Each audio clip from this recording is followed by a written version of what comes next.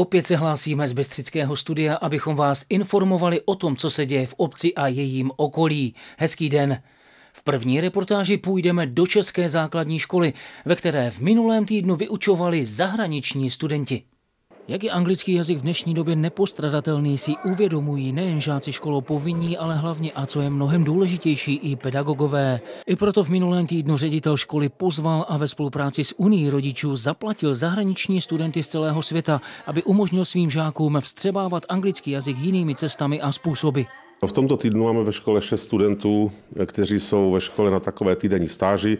Je to všechno zabezpečeno přes Karvin, karvinskou agenturu ISEC, která tedy ty studenty doporučila. Jsou to všechno vysokoškoláci, dva jsou z Turecka, jeden z Argentiny, jedna dívka je z Číny, jedna z, z Indonésie a jedna z Bulharska.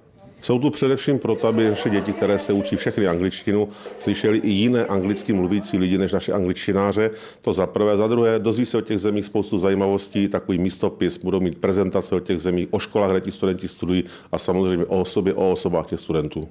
Nikdo ze zahraničních studentů není vysokoškolským studentem pedagogiky. České školství je tedy příliš nezajímalo. I tak ovšem každý sám pro sebe vstřebávali dojmy z Bystřické školy. Škola v Bystřici se mi hodně líbí. Nikdy bych neočekával takovou školu v tak malém městě. Je to skutečně dobrá škola. Má hodně kvalitního vybavení pro zlepšení schopností dětí.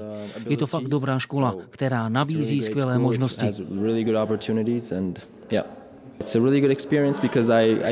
Je to pro mě dobrá zkušenost. Můžu se poznat s novými lidmi, uh, setkat se s jejich kulturou a také je naučit uh, něco o mé vlastní kultuře. Skutečně dobrá zkušenost. V Bystřické škole tento způsob výuky není novinkou ani první vlaštovkou. I v dalších letech se žáci mohou těšit na různé způsoby výuky anglického jazyka. V loňském roce jsme tu měli studenta hotového, byl to učitel a právník v jedné osobě. Byl to Rumun, který studoval v Holandsku a byl vlastně ve škole celý rok a učil angličtinu v půlených třídách. Taková velká skupina je ve škole poprvé, ale zkusíme na příští rok zase sehnat takového studenta. Je to lepší, pokud je to na další období, čili zkusíme na celý školní rok. Všechny inovativní a také atraktivní metody výuky stojí finance, čas a energii. Pokud ovšem je zájem, pozitivní výsledek se dostaví. Týden byl skutečně náročný jak pro zahraniční studenty, tak pro učitele Bestřické základní školy. Roman Cimorek a Renata Krosová museli připravit obrazně řečeno každou minutu týdenního programu. Samozřejmě nebyli připraveni na to, že budou učit tolik hodin, ale zvládají to dobře a samozřejmě zátěž je to i pro naše učitele, kteří pro ně připravují program od hraních hodin až do pozdního večera. Doufal jsem, že bude více sněžit, abych mohl jít na lyže nebo snowboard, ale nic se neděje. Když nebude sněžit, stále je dost věcí, které můžeme ve volném čase dělat. Hlavně učitelé pro nás připravili bohatý program. Hráli jsme volejbal, sportovali jsme. Budeme se dívat na hokejový zápas na olympiádě. Bude to zábava. Today we're gonna watch a hockey game in the Olympics, so it's gonna be fun. Kromě jiného si studenti užili i setkání se starostou obce. Bydleli v rodinách bystřických učitelů, kteří chtěli zdokonalovat angličtinu. Obou straně to musel být velmi povedený a zajímavý týden. V loňském roce se obec Bystřice zúčastnila soutěže o nejlepší internetové stránky obce. V konkurenci přihlášených webových stránek skončila druhá. V letošním roce se Bystřice přihlásila znovu a ambice jsou ještě vyšší. Zhruba ještě před těmi třemi lety byly ty naše webové stránky takové ty fádní, šedé, které splňovaly formálně tu prezentaci obce v ně. Eh, před dvěmi lety zastupitelstvo se rozhodlo, že je potřeba inovovat tyto stránky. Máme to i ve strategickém plánu, protože jsme se rozhodli a za poslední dva roky jsme hodně času věnovali díky našemu správci eh, sítě eh, panu Slaniňákovi a dalším jsme dali hodně energie do těch nových webových stránek. Proto eh, naše první účast v soutěži o Zlatý erb o nejlepší stránky Moravskoslezského kraje v roce 2013 eh, přinesla úspěch tím, že jsme byli druzí v rámci kraje. Několik málo let zpátky obec Bystřice nemohla ani pomyslet na podobnou soutěž. S příchodem nového systému a správce Miroslava Slanináka se situace radikálně změnila a webové stránky obce se staly její chloubou. Bystřice je jednou z mála obcí, které věnují webovým stránkám potřebný čas a energii, vedoucí ke kvalitě orientované směrem k široké veřejnosti. Zdali to stačí na dobré umístění v náročné soutěži se uvidí za několik měsíců. Soutěž o Zlatý erb má dlouhou historii a propracovaný systém hodnocení.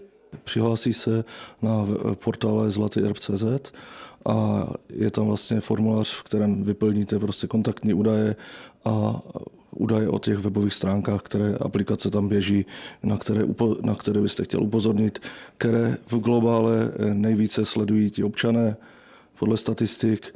No a potom je čtyř nebo pětičlená porota, která boduje podle nějaké osnovy, to znamená za každou povinnou část jsou body a v celkovém součtu potom eh, ta obec dopadne.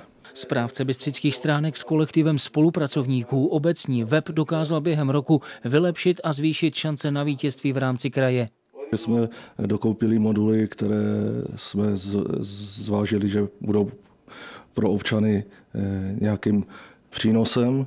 To znamená, koupili jsme eh, modul seniori, který umožňuje občanům se slabším zrakem nebo seni- eh, starším občanům lepší orientaci na těch stránkách. Dokoupili jsme modul pro rozesílání informací zaregistrovaným účastníkům o novinkách na stránkách. Zakoupili jsme univerzální překladač, který strojově překládá eh, do eh, spousty jazyků, které nabízí vlastně Google, Googleovský překladač. Z těch dalších věcí, na které bych chtěl upozornit, eh, velkou aplikaci, kterou jsme zakoupili, byly interaktivní mapy. Umožňují prostě vkládat do naší obce jednotlivé provozovny. To znamená, eh, v turistických cílích máme nějaké instituce, ubytovací kapacity, restaurace, eh, sportovní vyžití pro eh, občany nebo návštěvníky a sekci s firmama, kde jsou prostě provozovny obchody, nějaké podniky.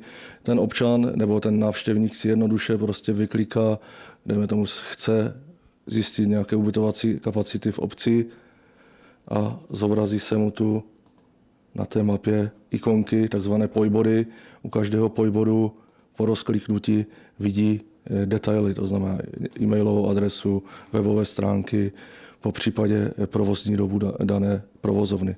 Katastr nemovitosti, to znamená katastrální mapy, čísla parcel, čísla budov. Pokud máme nějakou naučnou stezku, tak si zapneme tu, pomocí kreslení si tam tu naučnou stezku zakreslím a zase těm občanům to potom jednoduše vidím kurma ta naučná stezka jde.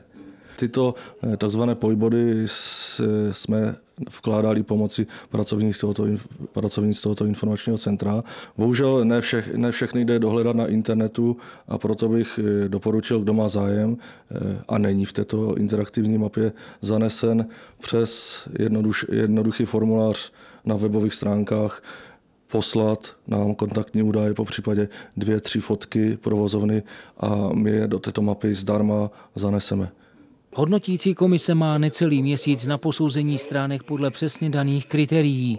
Jestli obec v letošním roce přeskočí loni vítězné stránky obce Otice, se uvidí. Účast Bystřice v celostátním kole je ale více než pravděpodobná. Tolik z obce a okolí pro tento týden. Na viděnou.